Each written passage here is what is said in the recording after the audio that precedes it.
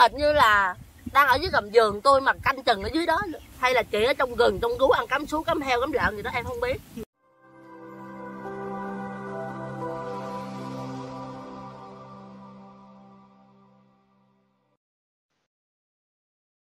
Ta nói chị là về là cái vụ chiếc xe mà lúc trước mình nói mắc á là là là, là ta nói là- tôi diễn đó. Nói chị diễn luôn hả? Ừ. À. Ơi trời tôi bộ tôi là diễn viên hả không nhiều cái suy nghĩ lại lâu lâu suy nghĩ lần lần là là á là có người ta nói nghệ sĩ á còn diễn nữa. Nhằm kia soi mối diễn viên nữa còn tôi đâu phải là diễn viên đâu mà tôi phải sợ phải không? Nhưng mà mình cũng buồn chứ. Mình đâu có đụng phạm gì tới họ đâu. Ừ.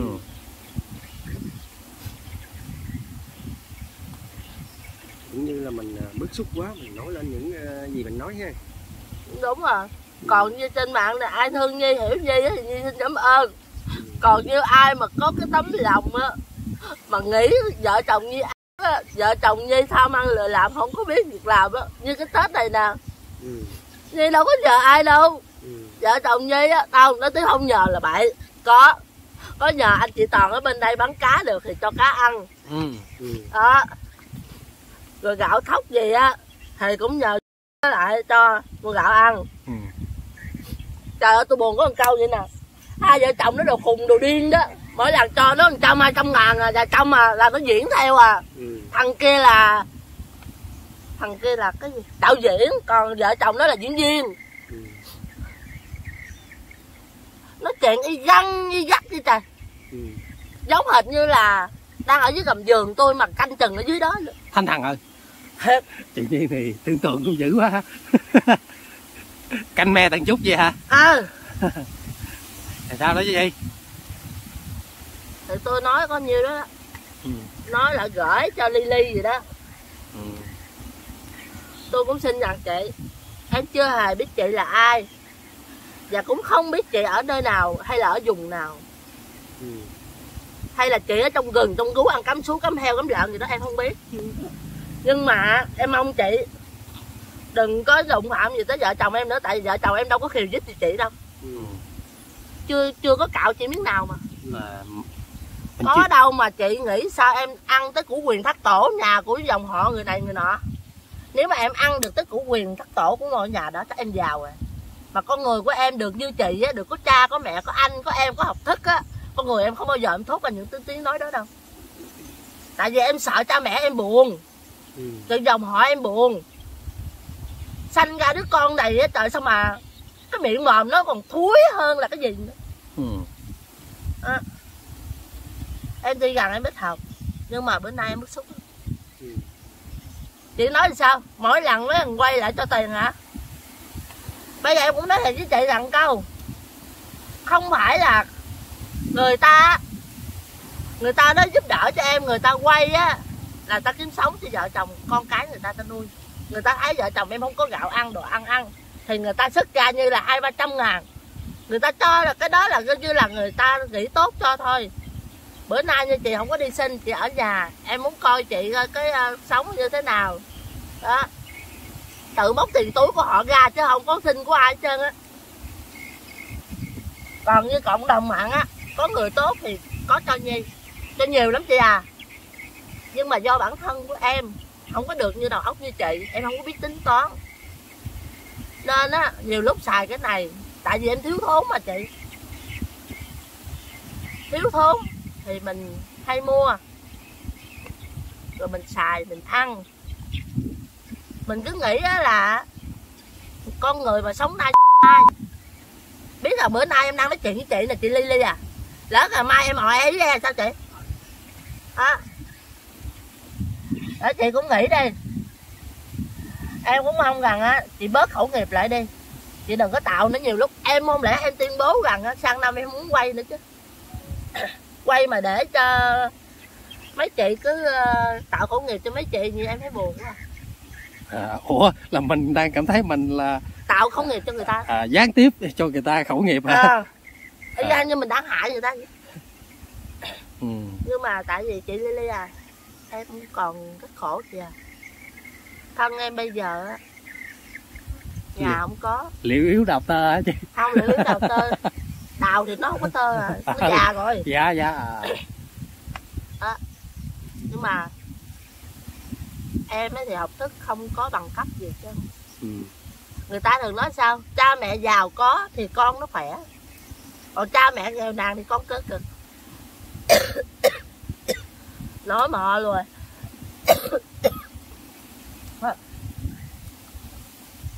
chị được sanh ra trong gia đình giàu có. Được có dạy dỗ. Ừ. thì chị đừng có nên kinh khi những người như tụi em bây giờ chị nên mở tấm lòng của chị ra đi. Em xin chị đó. Chị đừng có thốt ra những lời đó nữa. Em không bao giờ em biết chị ở đâu mà giờ ở vùng nào. Nhưng mà tại sao chị đăng hình vợ chồng em lên bảng làm gì rồi thôi vợ chồng em lường gạt, em lường gạt ai? Em chưa hề lường gạt chị mà.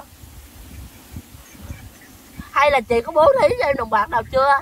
Chắc có rồi, phải không? Tại chắc do em không hay đó chị. Nếu em biết cái số tiền nào của chị á, tại em không lấy đó chị, đi đây à. Dòng người nói què hoặc gì á mà đi xuống dưới ruộng. Ủa, em không xuống thì chị đi bắt cá giùm cho em hả? Chị đi hay không muốn bán giùm cho em hay gì? Hay là đi nhổ con súng rồi lấy tiền giùm em hả? Chị có làm giùm cho em được không? Những cái đó chị có làm được không? Rồi chị có đi xin tiền đi về thuốc cho em được không?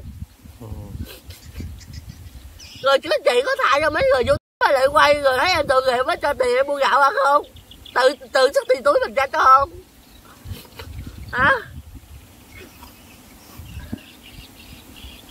Như à, hôm nay là cái giò chị đó có à, đi mua thuốc men uống không? Có xe đâu đi ừ. vậy là hôm nay là từ khi à, không có chiếc xe nữa là mình không có đi mua luôn hả? Không. Trời ơi. Cứ chịu đây nè giờ nó cứ nghiêng luôn rồi. Nè nó nghiêng. có nghiêng đâu. Nè bên đây nó có nghiêng đâu nó thẳng nè ở bên này nghiêng qua bên luôn ha. Này nó bị gãy có chân nhỏ mà. Ờ. đó thì à, bữa nay à, chị Nhi à, à, thấy cái sự việc đó đó thì tôi cũng à, rồi vô gạt tình.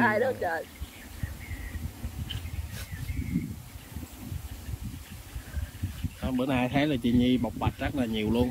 Mình à, có muốn thổ lộ hết thì mình à, thổ lộ hết đi cho bữa nay nó khỏe. Mình nói ra hết gì đó nó nó, nó không có dướng bận ở trong lòng á mình à, sẽ khỏe hơn. Nhiều lúc á tôi muốn đăng nỉ cộng đồng mạng á. Làm ơn hiểu giùm cho Nhi với. Chứ không bao giờ lần gạt ai hết á tại vì số phận của Di như vậy thì xin mọi người hãy suy nghĩ tốt giùm cho Di đi.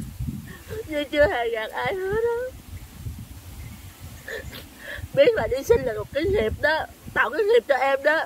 Nhưng mà em không làm cái đó, em làm cái gì đây hả với anh với chị? Em đi bán cái số thì bị bắt hoài à. Vốn đâu nữa mà bán. Người ta cho tiền em đi bán, không lẽ em lấy cái vốn đó để đi hủy bỏ nữa?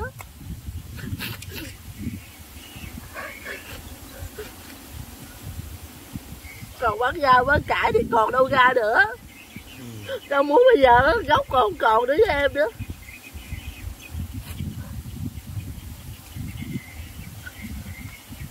Tính hồi đi nhỏ con súng nè mà giờ nãy đi ngang thấy con súng này như nó muốn chửi với tôi luôn á. Người hỏi rồi đó. Mày què mày quặt mày xuống nước ngoài vậy để đó mày mày không biết lội mày xuống đó chơi trời tôi nói sình đó tới đầu gối à. Tôi nhờ cái sình tôi trường trường được thôi. Có uống nước lần nào không? Đâu có ngập đâu mà uống nước. À, là mỗi lần mình à, không không bị dấp sao tại vì chân mình vậy á mình xuống dưới mình á. đó sình đó mình ngồi xuống là nó ấy theo sình mình bường. À, mình mình lết trên sình gan không? như là mấy người cán bộ ấy mấy người mà đi bộ đội vậy đó trường với gai mà đi bắn súng á đó chị Nhi bữa nay là thổ lộ hết rồi đó bộc bạch hết. Đó, những cái à, sự việc à, thời gian vừa qua đó cả nhà. Đó là ngồi là nè là ai nói là tôi giả tạo đạt đó lá nhìn đi. Cái giò có thể bẻ được anh chị được không? Mà sao hô mình đã gãy cái bộ? Ừ. nó còn nói á tôi biết tôi biết cái người cái người mà đưa tôi đi bệnh viện á chưa hề đưa tôi vô tới bệnh viện. Chỉ để tôi ở ngoài cổng rồi dục tôi đưa cho tôi có hai triệu có. Nhưng mà cái gì? Bảo hiểm. Chưa có chuyển tiếng á thì vô trọng á có bảo hiểm thì có nhưng mà nó vẫn lấy tiền như thường. Nó không bao giờ giảm cho mình.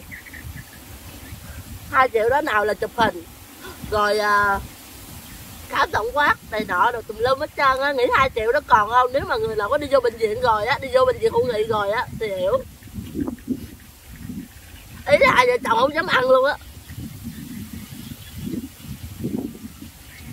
Ông này ông vô cái bệnh tôi quên cái ông khỉ đó ông tên gì rồi đứa đó ông có đeo cái gì ngay đây mà tôi quên đọc cái tên nữa. Ừ. ông nói á tự nhiên có nói là "Ê ơi, chồng tôi á nó bị uh, cam, cam mũi gì đó nó vô bệnh viện, nó bị gì đó ổng nó bị bệnh gì á. Ơi à, bây giờ như nằm đây mình ơi được không? Ổng nói không được. Phải có người chăm. Tại vì lỗ là tại vì à, cái giọng nói gì hay lắm người ta học cái nghĩa cái gì mà ống gì đó. Ừ. là phải có người ký giấy. Mấy còn không có người ký gặp thằng chồng mình nó không biết chữ nữa. Rồi cộng thêm cái đó nữa rồi thứ hai nữa nó vô chuyện nó ở cái mùi đó ổng nói cái gì bị bệnh gì tiếng anh nè rồi ổng đưa cho nó viên thuốc nó uống rồi xong rồi cầm được. Ừ. à, nói vậy thôi chắc uh, như về à. Mà như không được ở đây mình ờ, mà đừng anh nằm có thể như đi kiếm ăn như nhờ người ta mua giùm được mà. Cái cái giấy chụp hình ít quang còn không? Cũng đốt cái gì? quăng nữa hả? Ừ. Trời ơi. Ông nói bây giờ người phải có cái đó á, phải có cái đó mình coi nó cũng dễ ha. Tin. Ờ, có cái đó đi ổng cũng gì nhất thời không à. Có cái đó thì mình đưa lên cho người ta thấy. Ừ. càng là càng cái gì đó nó giờ mình ổng nói chọi- giờ, giờ tại vì ờ, đổ ờ, cái dầu lửa vô trong cái hình đó đó rồi cái đầu nó bị ố cháy À. ờ ên á. Ừ. rồi ổng nói giờ này nó cũng không xài được đâu em ơi. Ừ. nó nhưng mà có cái đó không được cái ổng nói á giờ em thấy ông nó ố một gốc bự như vậy rồi giờ chụp lên người ta nói ờ em lụm cái miếng này ở đâu về em làm lên. Đó. Tự nhiên suy nghĩ là ờ, cũng đúng rồi thôi đi anh làm gì đó anh làm đi. Cũng đúng À, bảo hiểm á thì mình đâu nói chung ra thì mình cũng có gành còn cái người đưa mình đi bệnh viện á thì người ta biết lại người ta là cũng đó. Thì người ta biết thì người ta nói trước mình một ngày đi. Tại vì nhi điện cho ổng là trước một ngày mà. Ừ. thì ổng nói ờ giờ em có bảo hiểm rồi thì em đi xin đi chuyển tiến đi. Phải không? Nè ổng nói gì hết trơn á sáng sớm ổng lại không cứ ổng bóc đi luôn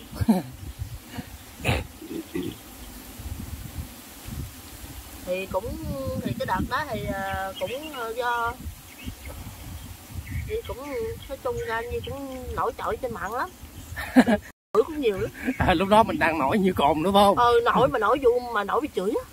Viết mà bên bên mấy người nó sợ luôn. Sao sợ? Nó trốn tôi luôn. Ấy da nhắc lại tới đó tôi tôi buồn. Tôi vừa buồn mà tôi vừa tới téo mà tôi cười quá nổi Nên tôi là bằng không. Trên mạng đó. Cũng mấy thằng quay đó. Ừ. lúc đó là chị nhi rất là nổi ha. Nổi mà tới mà tới những người mà thực hiện à, video mà mà còn à, quýu. Chạy tôi luôn. Nói chung ra thì có có ông đó. Ổng bốc hốt tôi đi lên ờ, của ngày nè ông đưa Ừ. tôi đi. Sáng sớm là ông hốt hàng ông dục lên rồi Trời ơi, à, tưởng tượng như Nhi với Kiệt là à, cái cái thùng này ha à, quăng lên đó ha. Lại tới à, một hai ba là kinh mà chọi lên cái là đóng nắp cabo lại là đưa mà đi đúng không? Đó. rồi xong rồi à, lúc mà tới à, trước cửa à, bệnh viện hữu nghị là ông có trao cho vợ chồng Nhi hai triệu ông hô là một Ừ. chị mạnh thường quân nào đó. Ừ, cho Nhi tiền nằm viện để ăn ừ, nhưng mà vô trỏng thì bảo hiểm cái này cái nọ thì nói chung là hai triệu đó đâu có còn đâu. À, vợ chồng Nhi ăn á thì còn phải xách tiền túi ra À. nữa mà. Rồi rồi mình à, đi vô đó mình à, cái gì chị Nhi? Chưa chân á, chỉ chụp hình với nó kêu là nhập viện. Ừ. rồi vừa rồi nhập viện cái ông này quay qua ông nhìn bác sĩ có ai bên máu tôi trời trời cái gì cái có ông bác sĩ ông nói cái bị bệnh gì á cái tên gì ngộ lắm tên Ừ. tiếng anh là ổng hả à, ông Kiệt có không à. ừ. cái đó bác sĩ à giờ ai nuôi ai đây bây giờ thôi giờ cho nhi nằm viện một mình được không ông nói không được tại vì à, đi mổ đi cái này là lắp xương chứ đâu phải là nằm viện thường đâu Ủa? ca Ờ. mổ mà, mà sao với cái chi phí mình chỉ có nhiêu đó thôi mà mình là do mình thực hiện mà mình đòi mổ không cái là mổ này là do bác sĩ người ta kêu còn Ừ, ừ, thôi là ừ. ôm cái nạn suốt đời dạ Ờ. dạ. Thì cái người giúp đó cũng kêu á là thôi à, ổng thì mình nói đi cũng nói lại chứ mình không có nói xấu người ta được cái nào tốt mình cho tốt. Không cái đó thì người ta giúp mình mà mình Ờ. có- là nó kêu á nằm viện đi ừ, có gì chi phí gì đó điện cho anh. Ừ, rồi anh điện cho cái chị đó. Ừ. cái quay qua thấy thằng chồng mình như vậy. Thôi bây giờ biết sao về luôn à? thôi anh ơi em xin lỗi anh. Coi như cái cái cái mong muốn của anh được Ừ. đi cho em đi được coi như là em phụ anh rồi. Thôi bà này bà này vừa mới vô mà chưa chân ông kia vô chổng mà. Mặt chạy chứ